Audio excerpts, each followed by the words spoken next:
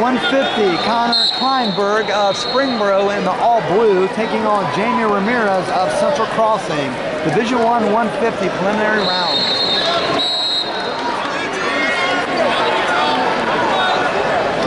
round.